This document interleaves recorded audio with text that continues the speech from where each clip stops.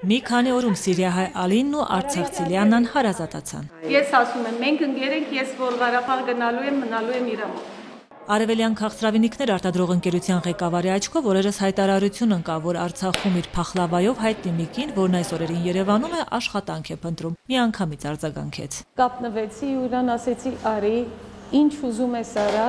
այս տարածքը քոնն է, մենք կախնի բան չունենք, ինչ ունեմ կդրամատրեմ»։ Առաջին իսկ օրը առաջին մեծ թավան խանութ ուղարկելուց ընդամենը 1 ժամ հետո զանգ սպառվել է, հասցրեք նորը բերեք։ Անընդմիջում աշխատում է, հյուրընկալող կողմն էլ ապահովում է ընկույզ մեղր մնացածը, որքան պետք է, նվիրական գործի համար է։ Մենք ոչ մի բան չենք ուզում, բացարձակապես,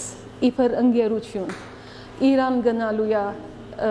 ինչ որ ինքը գամենա աշխատավարձ եւ շահույթի բաժինն էլ գնա հիմնադրամ։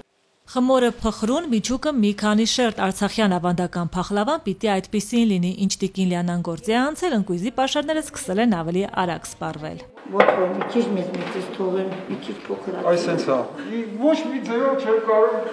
Գործում խստապահանջ է իր իմացածից Միքայել Չշեղվող առաջին նորն առաջարկեցին խմորը հարիչով հունցել գործը թեթևացնել չհամաձայնվեց։ Նրանով կոպիտ է ստացվում խմորեղենը, ձերքով ավելի լավ անոր փայնում Աշխատանքն ու կոլեկտիվի սրտաբացությունը տան տղամարդկանց առաջնագծում թողած աղջիկների ու թորների հետ կռվի 10-րդ օրը միայն Հայաստան եկած կնոջը փոքրինչ շեղում են տրտմությունից։ Իր նման շատերն են, որ թեև այսօր բազում ձեռք մեկնող ունեն հայրենակիցներից, բայց միևնույն է, ուզում են աշխատել, մի բարիք էլ իրենք ստեղծել։ Աշխատանքն ինչ որտեղ սպասումը դարձնում է հաղթահարելի։ Տա աստված մի քիչ շուտ գնամ, էլի կգամ։ Հա, ամիսի մի անգամ կգամ, բայց ուզում եմ գցել